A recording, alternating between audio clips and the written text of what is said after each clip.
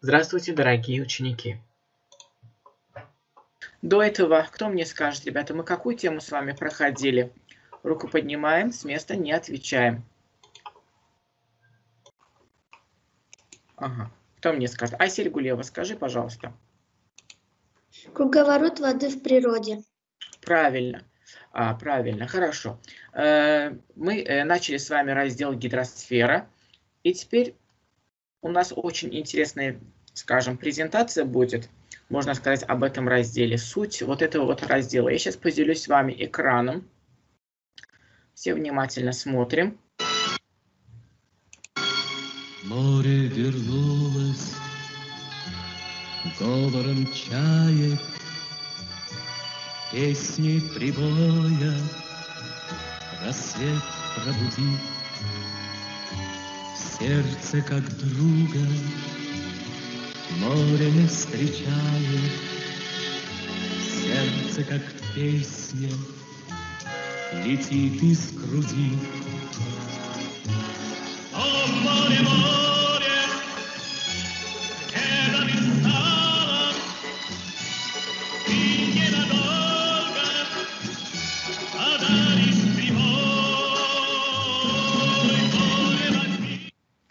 Ребята, вы услышали вот эту вот песню.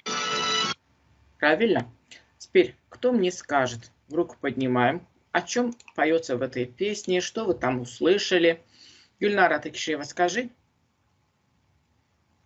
Там поется про море. Про море, правильно. А, правильно. Давайте теперь посмотрим Море, другую презентацию, посмотрим, что мы там видим.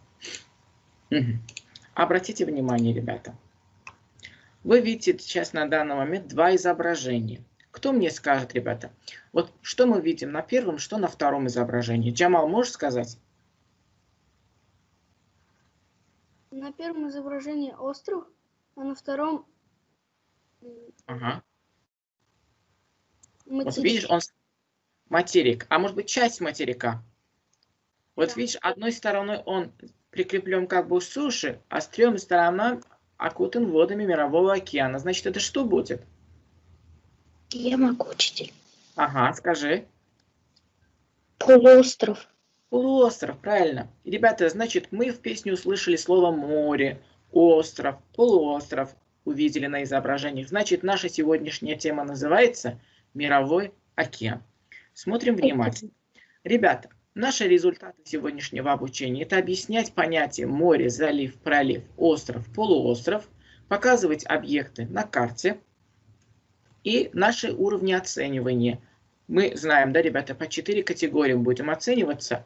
Например, если хорошо ответите, самостоятельно будете, сможете, точнее сказать, все показывать на карте, это будет четвертый, то есть самый высокий уровень. Правильно объяснять понятие море, залив, пролив, остров, полуостров. Или же у нас вторая категория оценивания тоже есть. Без ошибок показывать на карте географические объекты моря, заливы, проливы, острова и полуострова. Также, если у вас будут ошибки или будете пользоваться помощью товарища или учителя, конечно же, немножко уровень оценивания тоже понизится. Теперь, ребята, давайте посмотрим. У нас есть вот такая вот таблица. Э, Задаются вопросы, какими океанами омывается материки Евразия, Северная Америка, Южная Америка, Африка и Австралия, и какая у них береговая линия, ровная или изрезанная. Давайте посмотрим. Ребята, обратите внимание, вот видите, на карту посмотрите, я здесь поставлю вот э, карту. Э, кто мне скажет, вот Евразия под номером один, здесь Африка, Северная Америка, Южная Америка, Австралия и Антарктида. Какими океанами омывается? Давайте руку поднимаем, кто хочет сказать свое мнение. Например, Евразия омывается какими океанами? Вы посмотрели на карту. Кто мне скажет? Давайте будьте активными, поднимаем руку на Теван. Микрофон включи было? Тихий, Индийский, Атлантический. Ага. Три океана. А Северно-Ледовитый не попадает на территорию Евразии? Попадает. Попадает. Значит, общий сколько океанов омывается Евразия? Четыре океана, Четыре. правильно? Хорошо. Кто мне скажет, э, скажем так, Африку? Африку. Давайте посмотрим. Руку подняли. Ага. А, Хева Абдулаева. Учитель, я пока не вижу карту. А, подожди, я сейчас верну вниз. Ага, смотри, Африка. Какими океанами он омывается? Вот видишь, вот здесь. Да. Тихий Ага. океан. И еще Ага. я еще не вижу. Подожди, загрузится. Хорошо, давайте поможем. У кого видно, пусть они ответят. Руку поднимите, я сейчас верну список назад. Ага. А, Хаям, можешь сказать Африку? Африку, а- Африку омывает Индийский океан и Атлантический океан. Абсолютно верно. Индийский, Атлантический. Хорошо. Нижат, можешь сказать мне Северную Америку?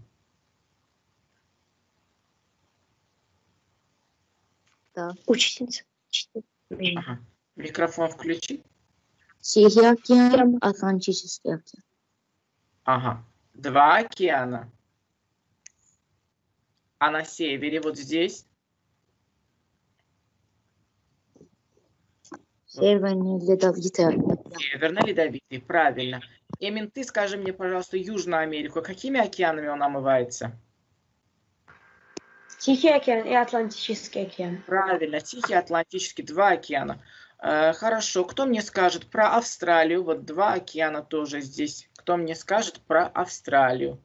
Руку подняли. Так, посмотрим. Ага, Орхан, можешь сказать? Да, индийский и тихий. Индийский и Тихий. И последний, ребята, учебники не дали, я дополнительно Антарктиду тоже ввел в этот список, чтобы у вас была полная информация. Как мы видим, здесь три океана попадают вокруг Антарктиды, то есть воды Тихого океана, Атлантического, Индийского океана омывают берега Антарктиды. Хорошо, ребята, теперь обратите внимание, береговая линия у каких материков более изрезанная, то есть огромное количество здесь островов, полуостровов, заливов, где, ребята, вы видите самую большую изрезанность? Руку подняли, посмотрим, кто хо- хочет ответить. Теймур Гуревич. Северная Америка. Ага, только Северная Америка. Еще можно туда что-то добавить? И, Ага, смотри. и Евразия. И Евразия, молодец. А, ребята, обратите внимание на береговую линию южных материков. Видите, какие они такие вот ровные. Знаете, с чем это связано? Вот мы все любим мультик «Ледниковый период». Мы все смотрели его. Там тоже вот показывается, да, как последний раз четвертичный период э, земной шар был покрыт э, оледенением. Это в основном попало на территорию Евразии и Северной Америки. Как бы последствия ледника у нас остались вот такие вот огромное количество полуостровов и островов, поэтому береговая линия изрезанная. Итак, ребята, запомните, если у побережья материков много морей, заливов, островов, полуостровов, проливов, то береговая линия материка сильно изрезана. Моря, заливы, проливы – это части Мирового океана. Море, ребята, это часть океана, отдаленно от него естественной границы. Этой границей могут быть острова, полуострова, подводные горы.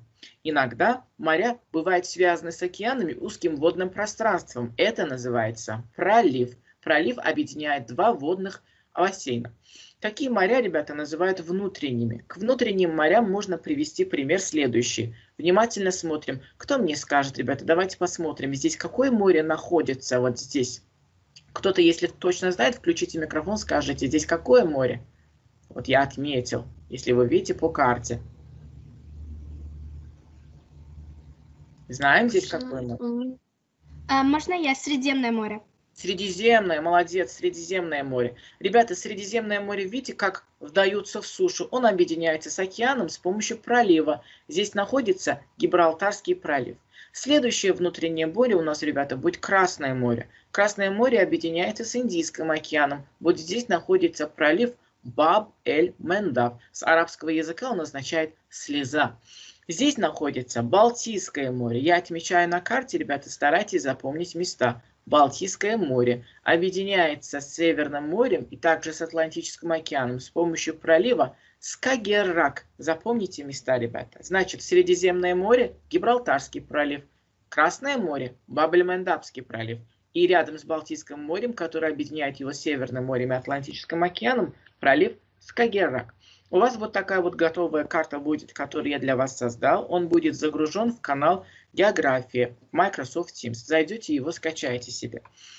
Заливы. Что такое залив? Ребята, залив – это часть океанов и морей, сильно вдающиеся в сушу. На побережье крупных заливов, таких как Гвинейский, Мексиканский, Бенгальский, имеются десятки морских портов. Небольшие заливы называются бухты. Они наиболее благоприятны бывают для морских портов, так как они бывают защищены от сильных ветров и волн. Давайте посмотрим, какие заливы мы с вами э, вот здесь перечислили. Гвинейский, Мексиканский, Бенгальский. Вот здесь находится самый большой залив в мире, который мы называем Бенгальский.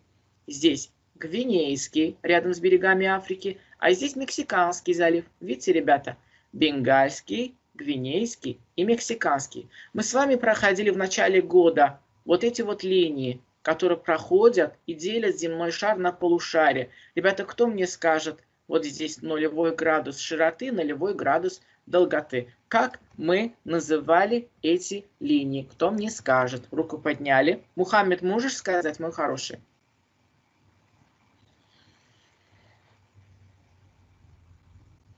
Это воображаемые линии, которые Ага.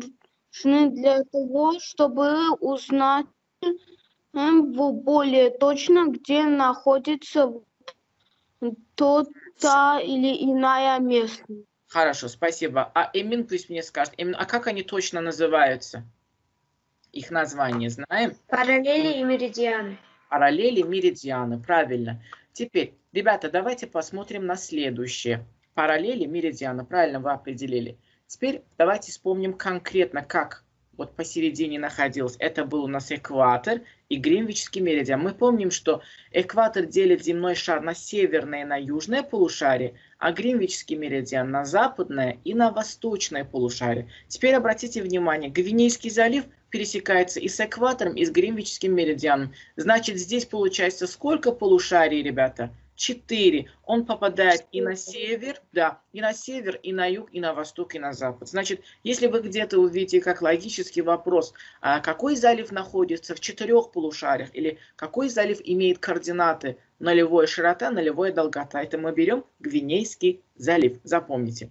Когда мы говорим о заливах, прошлый урок, ребята, мы еще с вами проходили, вот где нефть добывается, помните, Персидский залив, вот здесь рядом с Аравийским полуостровом. Вот здесь находится Персидский залив. Тоже запомните место.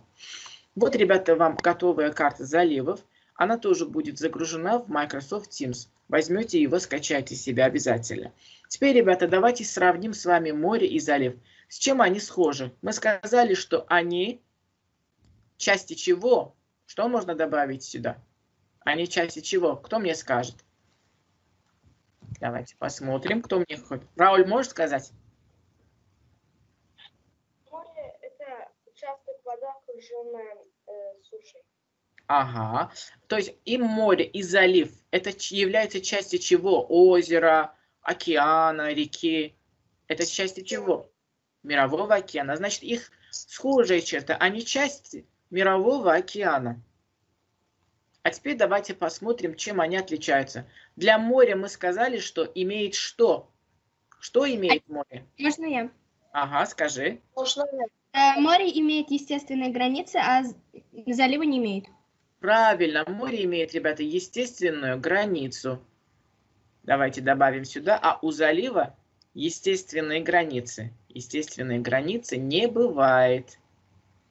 Не бывает. Это главная отличительная черта залива от моря. К морям можно привести пример Средиземное. Мы с вами прошли. Балтийское. Или Красное море. Правильно? А к заливам можно привести пример, например, Мексиканский, Гвинейский и так далее и тому подобное. Я зачем это вам в таком виде объяснил? У вас будет домашнее задание, тесты. Там будут вот такая вот диаграмма Вена. Так что не запутались. Ребята, наш город, родной город Баку, расположен на побережье Бакинской бухты. Вот такой вот маленький залив, мы сказали, называется бухтой. Он относится к Каспийскому морю. Теперь давайте посмотрим участки суши в Мировом океане. Ребята, полуостров – это участок суши, сильно вдающийся в океан.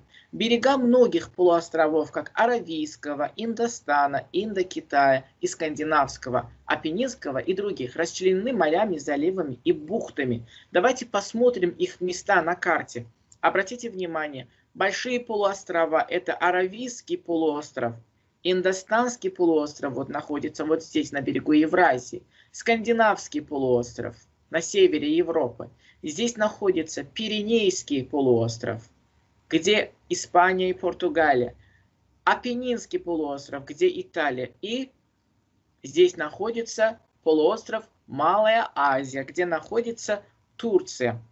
Вот вам, ребята, карта дополнительно полуостровов будет загружена в Teams. Возьмете его себе. Теперь обратите внимание, ребята, это увеличенная карта Турции, то есть мало, полуостров Малая Азия. Вот, ребята, кто мне скажет, давайте немножко отдалимся от темы нашей, кто мне скажет, вот мы Тур, Турцию называем нашими братьями, у нас очень хорошие дружеские отношения. Вот в чем это она себя показала, вот последние, скажем, события, в чем это она себя показала и все, весь мир удостоверилась в этом. Руку поднимаем, кто хочет сказать свое мнение. Так, подождите чтобы никто не отставал. Гусейн Гулиев, можешь сказать? Э, На войне они нам э, помогали. Правильно. э, А, как они чтобы помогали? они нам э, помогали э, Ага. Ну, ты скажи э, свои, не бойся. Ага. э, они нам э, помогали з- этот э, Карабах э, захватывать. э, Давай я тебя поправлю, Гусейн. Не захватывать, а вернуть, потому что это были наши земли, правильно? Вернуть наши доисторические территории. Правильно. И в этом все, вот суть в этой дру- дружбы. Э, хорошо, пусть еще кто добавит. Хава, можешь, если хочешь, скажи свое мнение. Включи микрофон. Обеспечивая нам э, оружием. Оружием, правильно, всякой помощью. Правильно, ребята, молодцы. Поэтому мы их называем нашими братьями. Хорошо, ребята, теперь дальше давайте посмотрим.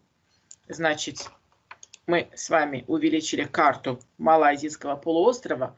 А в учебнике будет такое задание, и чтобы вам сложно не было находить карту, я для вас открыто уже вот так нашел, показываю, что где находится. Точно такое задание у вас будет в учебнике. Это полуостров Малая Азия. Здесь находится Турция, ребята. Обратите внимание, на северной части находится Черное море. Вот если здесь какая-то цифра будет, это будет Черное море.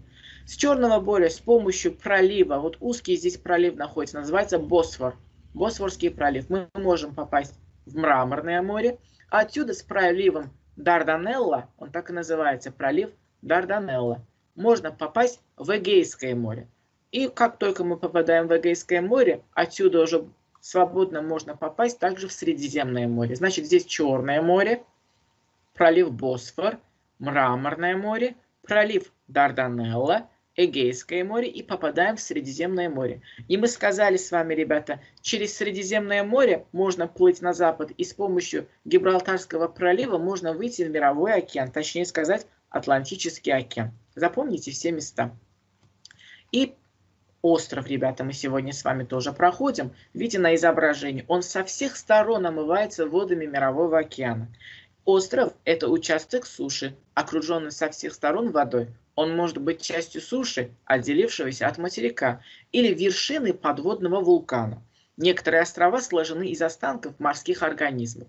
Значит, остров может быть материкового типа, острова могут быть вулканические, то есть иногда верхняя часть вулкана поднимается поверх воды, или же э, в море обитают такие скажем, морские обитатели, которые организм состоит из кальция. И когда они вымирают, они накапливаются превращаются в острова. Это более углубленно вы будете проходить в седьмом классе.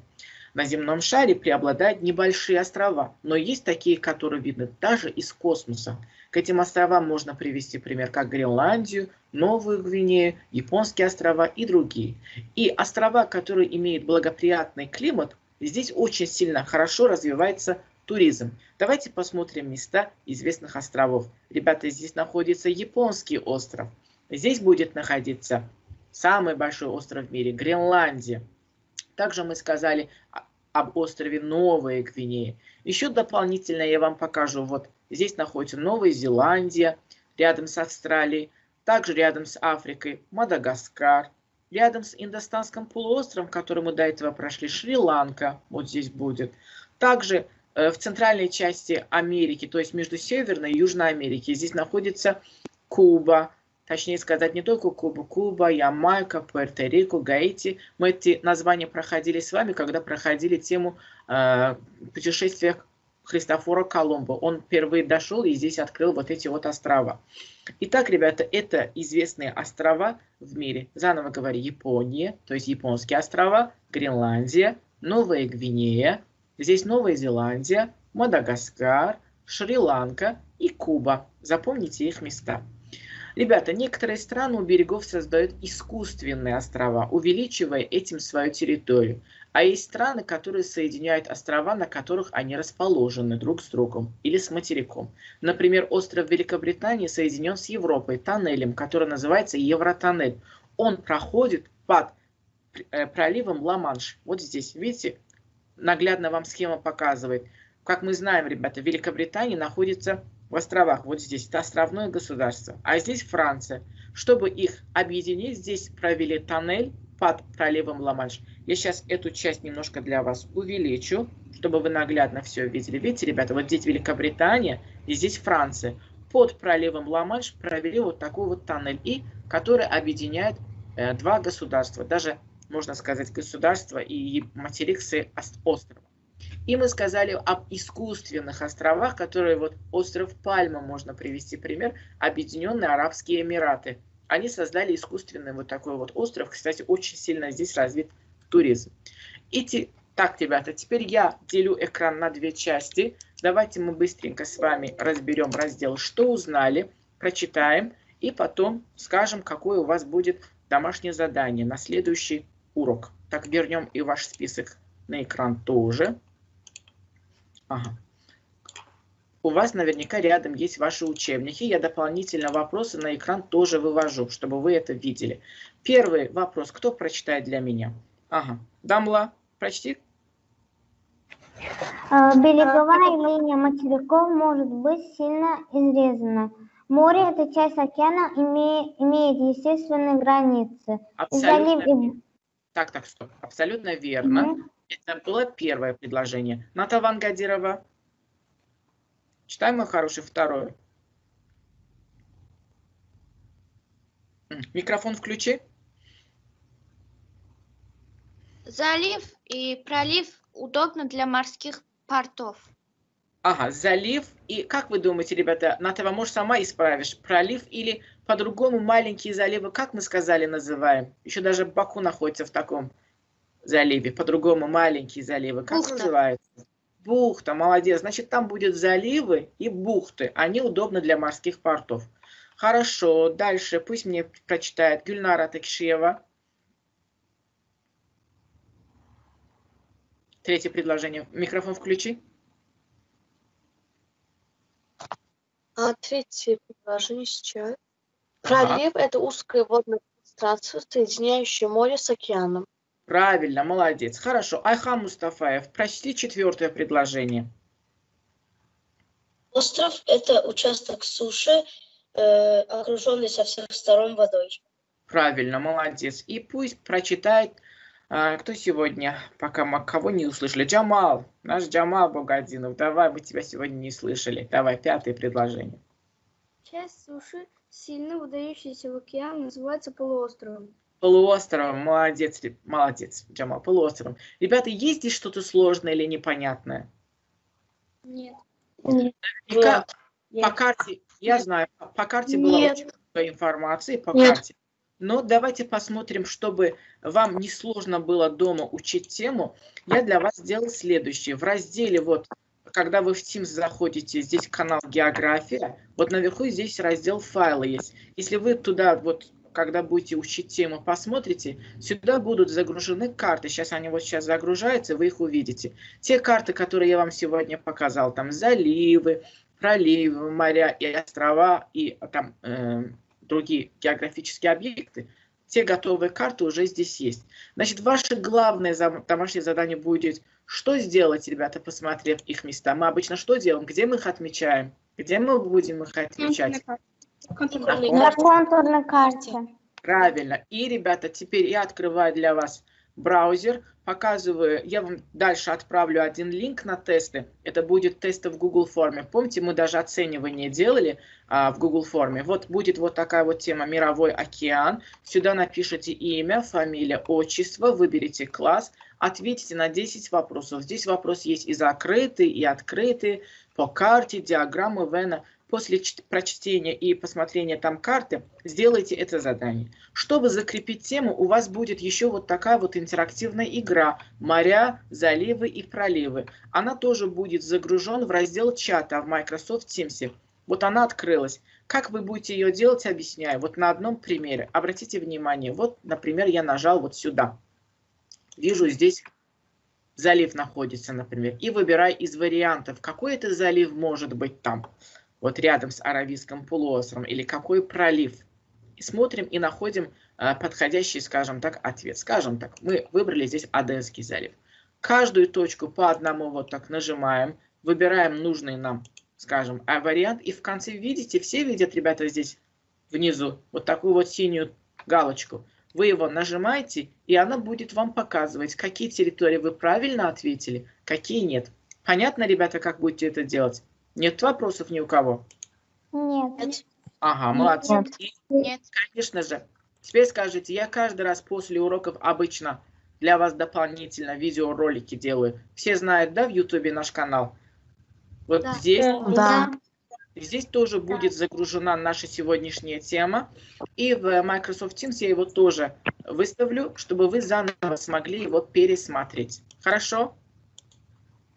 Да. Хорошо. Ребята, вопросы есть? Нет. Нет. Нет. А, Ха- Хава Абдулаева нам и смайлик отправила. Ей понравилось урок. Спасибо, ребята, спасибо. Спасибо. Кому понравилось, можете там нажать на кнопки. Да, у кого есть вопрос, спрашивайте. Вот я написал острова, например, Тихого океана, Новая Гвинея, Борнео, Хансю, Люсон, Южный остров, Миндаве. Это А. надо было все записывать? Да, да, это очень хорошо, потому что это первая тема дам- вам дается в шестом классе, и она вам понадобится до одиннадцатого класса. Поэтому и тетрадки не теряйте, ребята. Спасибо, ребята, за э, смайлики. Спасибо, я вас тоже всех очень люблю. И это вам понадобится до 11 класса обязательно. Поэтому я эти карты вам тоже выставил. Оттуда тоже посмотрите. Если что-то не нашли, сможете оттуда скачать. И до следующего урока, чтобы все эти задания были готовы. Договорились, ребята? Да. Да. И оценивание, конечно А, же, да. мы скажем сегодня, у кого было какое оценивание. Мухаммед, спасибо, выделился. Да, четвертый уровень. Да, да, я слушаю. А когда мы тесты будем писать? А, Вот ну, как вот вы знаете, на основе этого вот, э, скажем, полугодия, вы знаете, из-за пандемии, из-за карантина условия немножко поменялись. Вы в конце года один раз напишите оценивание, а так, по, э, скажем, каждой теме я вам буду вот такие вот квизы отправлять, вы будете делать их, чтобы темы закреплять. Хорошо? Дальше, ребята, спасибо большое. Рауль, четвертый уровень. Эмин, спасибо большое, хорошо выделился. Дамла сегодня выделилась. Э, Джамал, как всегда, молодец, будет активным. Гюльчегра. Дальше кого здесь я сейчас не хочу пропустить. Хава Абдулаева сегодня была активна. Ниджат. Спасибо, ребята, все были активны. Я видел, все поднимали руки. Но мы знаем, у нас 30 минут и стараемся, чтобы э, все были оцен- оценивания, э, было у всех. И если у кого-то сегодня оценки не было, вы же будете делать тесты, правильно, которые я вам линк отправил. А тут тоже мы возьмем и будем вам писать оценки. Договорились? Да. Хорошо, ребята, на сегодня все. Да. Увидимся с До вами в свидания. следующем уроке. До До свидания. свидания. Спасибо за До урок. свидания. Спасибо за урок. Спасибо за урок, учитель. До свидания, учитель. До свидания, учительница. Спасибо за урок. До свидания.